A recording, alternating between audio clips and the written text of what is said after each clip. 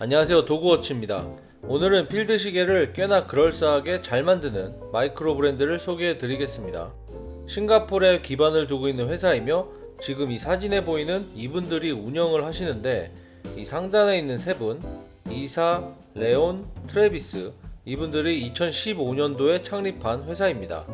2017년도 킥스타터를 통해 첫 시계를 선보였고 저는 해외 커뮤니티에서 처음 이 브랜드를 알게 되었고 홈페이지에서 꽤나 마음에 드는 모델이 있길래 올 초에 주문을 하려고 했으나 해당 컬러가 품절이라서 예약 주문을 걸었고 몇 달 정도 기다리다가 얼마 전에 드디어 시계를 받았습니다.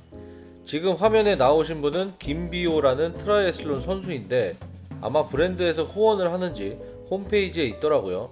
국내로 보이는 저 장소에서 자전거를 타는 사진도 있던데 상당히 반갑네요. 브랜드 이름이 볼더, 볼드알, 어, 정확한 한국어 발음은 모르겠는데 어, 제가 처음 같으니 저는 그냥 볼더라고 부르겠습니다. 싱가폴 마이크로 브랜드 볼더 리뷰 도그워치가 국내 최초입니다.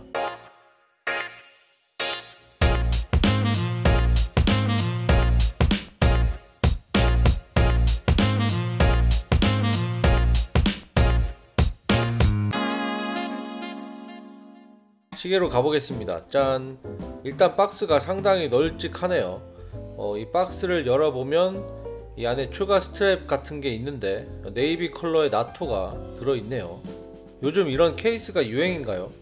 어, 프로마스터와 비슷한 무슨 하드 케이스가 나오고 어, 굉장히 튼튼해 보이네요.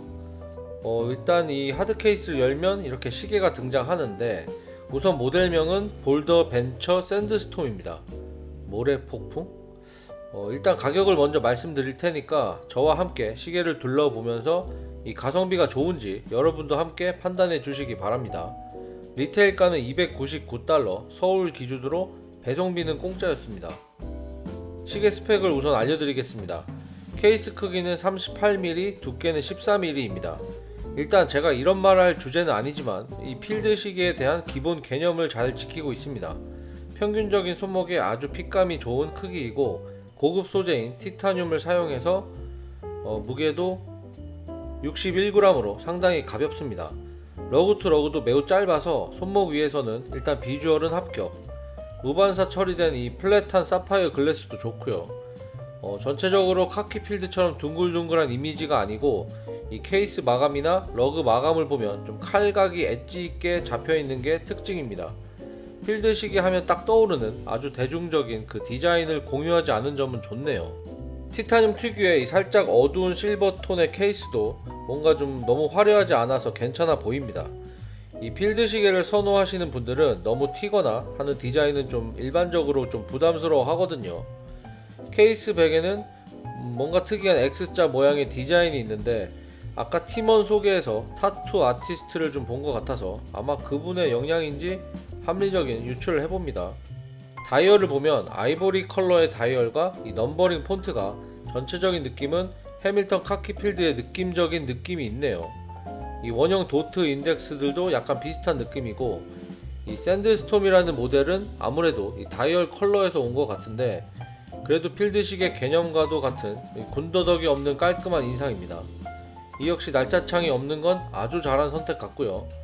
한 가지 눈에 좀 보이는 건 이 초침 끝 부위가 오렌지 컬러로 포인트 처리가 되어 있는데 어, 왜 제 눈에는 마치 주식 차트 봉같이 보이는 걸까요?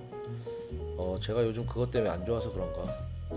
야광은 예상대로 녹색 계열에 밝기는 선명하고 지속 시간은 어, 평범하네요. 소소한 장점인데 필드 시계 치고는 200m 방수인 점이고 역시 용두도 스크류다운 타입입니다. 용두를 푸는 느낌은 살짝 거친 느낌이 나지만 수동 감기는 예상대로 부드러운 편이며 NH35A가 날짜창이 있는 무브인 만큼 한 번을 뽑으면 아무 변화가 없고 한 번 더 뽑으면 해킹이 되면서 시간 설정이 가능합니다. 다시 용구를 잠그는 느낌은 뭐 그렇게 거친 느낌은 아닙니다. 기본으로 제공되는 스트랩은 일반적인 나토 줄이지만 버클과 이 고정링은 케이스 소재와 동일하게 티타늄을 적용한 부분은 좋네요. 샌드스톰이라는 이름답게 이 골드색 나토 줄이 기본 제공되지만 추가로 보내준 네이비 나토도 무난하게 어울릴 것으로 보입니다. 총평입니다. 사실 시계를 주문하기 전에 제가 개인적으로 이메일로 할인 코드를 요청했지만 이 볼더 측에서는 정중하게 거절하였습니다. 뭐 아쉽긴 하지만 당연히 할인 코드를 만들어 주는 건 아니니까 뭐 충분히 이해합니다. 뭐 아무튼 그래서 299달러 기준으로 가성비를 좀 생각을 해봐야 되는데 어, 한 35만 원이라고 생각을 하고 본다면 우선 사이즈는 굉장히 좋고 이 티타늄의 무반사 사파이어 글래스 스펙을 고려한다면 가성비는 그렇게 나쁘지는 않은데 아무래도 네임밸류나 역사가 좀 짧은 마이크로 브랜드 인점을 함께 생각해 본다면 어, 좀 고민되는 가격이라는 생각이 드네요.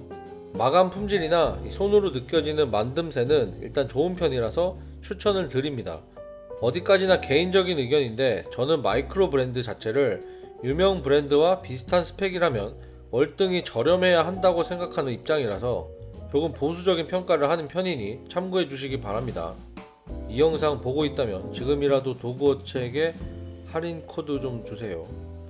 어, 지금까지 도그워치였습니다. 감사합니다. 구독과 좋아요, 알림 설정 도와주신다면 저희 도그워치 지속 가능 경영이 가능합니다. 사랑합니다.